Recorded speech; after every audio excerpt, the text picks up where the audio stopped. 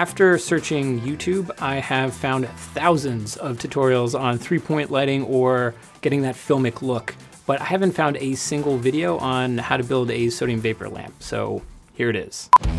Hi, I'm James Powers, freelance DP and gaffer. Today we are going to build a low pressure sodium vapor lamp for about $130. This is a very specific and incredibly unique light because it is monochromatic. It only outputs light in the yellow wavelength spectrum because science.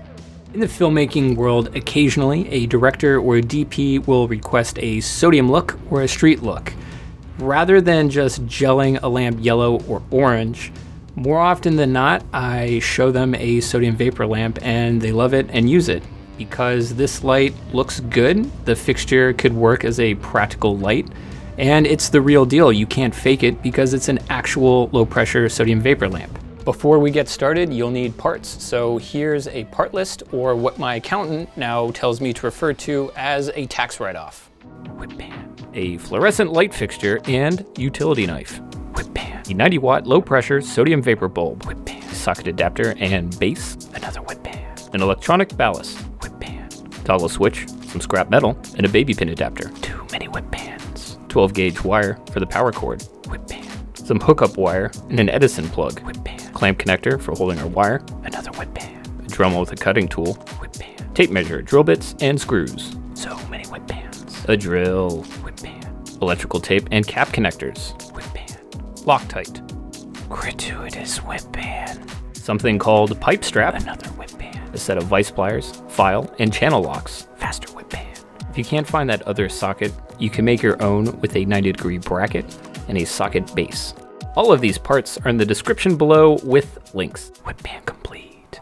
Let's take a look at this wiring diagram before we begin our build. The electrical path will travel down the black wire into the toggle switch, into our ballast, from the ballast to the red leads, into the bulb, to the yellow lead, back to the ballast, then the white neutral lead, to the neutral lead on our power cord. I found this awesome fluorescent fixture on eBay. When you're on the hunt for a fixture, try to find anything that's 2 feet in length and uses a T8 fluorescent bulb. This thing is going to be perfect for creating and housing our sodium vapor lamp. To start, you're going to have to gut and remove all of the old fluorescent lamp parts. Some of the parts could be repurposed. To make it easy to follow, I went ahead and removed my power cord already. To start, you're going to remove some fluorescent lamp holders, unscrew some panels, and remove the magnetic ballast. Under this main panel is where we will be attaching our power cord toggle switch, baby pin adapter, and electronic ballast. Let's build a power cable. To start, let's attach the male end of the Edison plug. To remove the insulation, gently roll the utility knife around the wire. Then violently bend, twist, and pull the insulation. From the white, black, and green wire, we're going to remove about a half inch of insulation. Trim the paper insulation. Unscrew the clamp from the back of the plug. On the face of the plug, you'll see three screws. We're going to separate the face of the plug from the boot. Slide the plug boot down the cable. We're going to connect the green ground wire to the green screw. Attach the black live wire to the brass screw. And connect the white neutral wire to the silver screw. Align the boot plug to the face of the terminal. Connect the three screws on the face of the terminal. Align the two halves of the cable clamp to the boot plug and screw down the cable clamp. Like professionals, we're going to secure the other end of our power cord with a 3 8 cable clamp. Most of these fixtures have an area where you could punch out either a 3 8 or a half inch hole. If your fixture doesn't already have a half inch opening, you're going to have to drill one. Remove the locking nut, insert your cable clamp, attach the locking nut to the back of your cable clamp. Locate your power cord and thread it through the cable connector. The other end of your power cord has three wires. Go ahead and strip them if you haven't already. On this build, I'll be attaching the stock power cord that came with my fixture. Now let's attach our ballast to the right of the power cord. To keep your wiring clean, face the ballast with the black and white leads toward your power cable. To secure the ballast, I'm using 3 8 inch screws. These are number 6 32 round head Phillips screws. When working with the number 6 screw, I've noticed a 9 64th drill bit works best. After you align and mark your ballast, go ahead and drill two holes.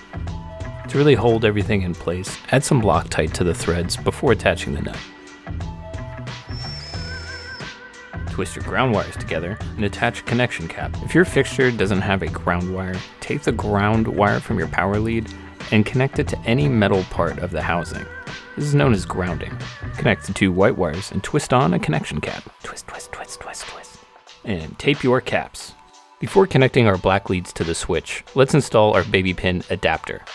Our lamp is going to have a bit of weight to it, so I'm going to reinforce the baby pin adapter by putting a piece of scrap metal between the 3 8 bolt and the baby pin adapter. Put the 3 8 bolt in the middle of the plate and mark the center. We're going to put four holes on the corner and one in the center for the 3 8 bolt. Here's a hot tip for working with metal. Before drilling, make a small dimple on your mark by taking a Phillips head screwdriver and hitting it with a hammer. This prevents the drill bit from wandering from the mark. For a 3 8 bolt, we're going to use a half inch drill bit to create a half inch hole. After becoming increasingly frustrated that you do not have the right workbench, grab some electrical tape to help support your metal bracket. After losing patience with your electrical tape, grab your bracket with vice pliers. The vice pliers are going to help your bracket from violently spinning once you create your hole. After drilling, your bracket's going to have some very sharp edges. File those edges with a metal file. This way your bracket sits flat when you attach it to the lamp.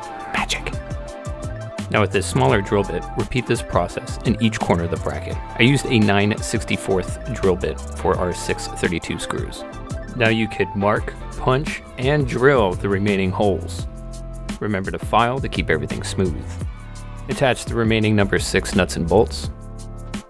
After you mount your plate with nuts and bolts, it's easier to drill your center hole.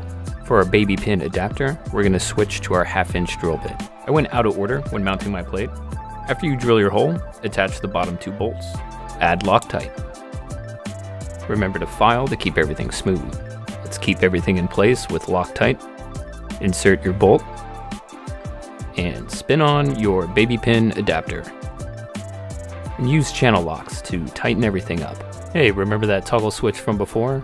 It is now time to install. So we could turn our light on and off. Before connecting our black leads, let's drill and mount our toggle switch. Use a half inch drill bit.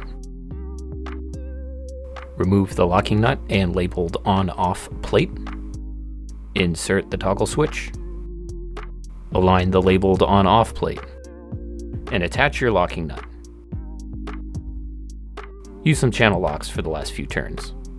From your power cord, connect the black wire to one of the toggle switch's wires.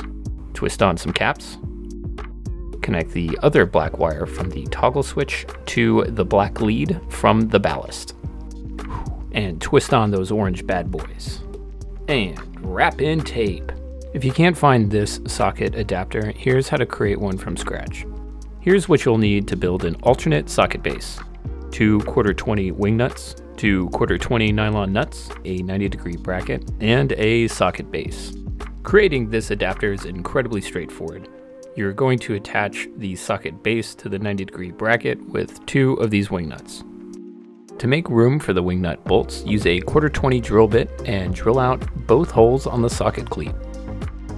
Mark, punch, drill, and file your hole so you could mount your wing nut. To feed wire to the terminals, drill a 5 16 hole in the bottom of your bracket. And file. We're going to skip ahead to wiring after drilling a hole in the panel, feed the red and yellow wires through, and attach the wires to the terminal.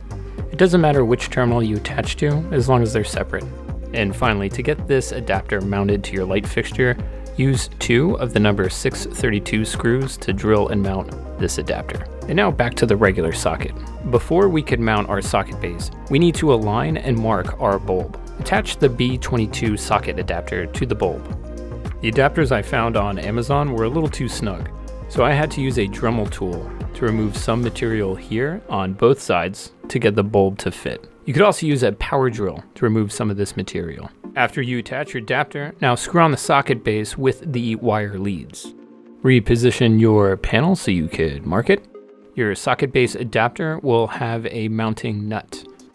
Unscrew the mounting nut. Try your hardest not to get Sharpie marker on your hand when you mark and drill a hole for your mounting nut. To drill this hole, I'm using a 5 16 drill bit. Remember to file to keep everything smooth.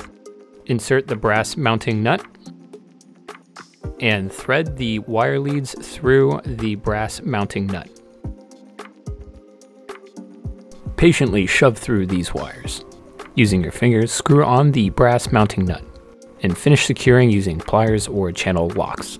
After we reinstall our panel, let's go ahead and test the mount by installing the bulb. Everything checks out and now we can move on to the next step and that is securing the far end of our bulb. We will be securing our bulb with a loop of pipe strap. We're going to measure a length by unspooling a little bit of pipe strap. To cut the strap, you could grab it with pliers and move it back and forth until it breaks. Mark the width of the strap. Mmm, that warm shower of sparks feels wonderful. Use a Dremel with a cutting tool to create two slots. Feed the strap through the slot. To cut the pipe strap, you could either use your Dremel tool or pliers and just move the metal back and forth. We're going to mount our pipe strap by marking, drilling, and securing using our number 632 screws. To finish wiring the ballast, we are going to cut the long red wire. You will now have four short red wires coming out of the ballast. Combine the long red wire with two of the red wires from the ballast. It doesn't matter which ones. Go ahead and strip and twist all three of these red wires together and cap it off. And tape them. Grab the black and white wires coming from our socket base adapter and strip both ends. Let's twist together the white and yellow leads and tape them. It doesn't matter which order you connect these, but let's connect the red wire to the black wire. Go ahead and cap and tape them. Tape up the remaining two exposed red wires. Cover up that mess with the panel. Screw in the bolts for the cover. Click in your 90 watt light bulb. Install the dust cover. And now you are ready to rock and roll. One thing to note about this light is you can't just click it on instantly. It takes about 10 minutes for this light to come to full temperature where you get that monochromatic look. After building a few of these lights, I've noticed I'll include stuff in the parts list that I don't use for each build. One thing I've noticed was hookup wire. Um, it really just depends on the fixture, but it's a good thing to have. The sodium lamp is incredibly bright. We're working with a 90 watt bulb, and at a distance of three feet, I was able to measure about 150 foot candles. Um, that translates to about f16. If you don't know what that is, that that's that's really bright. You you have to stop your lens down almost all the way to get a proper exposure. And there you have it. That's how you build a low pressure sodium vapor lamp. Thank you for watching. If you like this video, please make sure to like or subscribe. Thanks. What's that?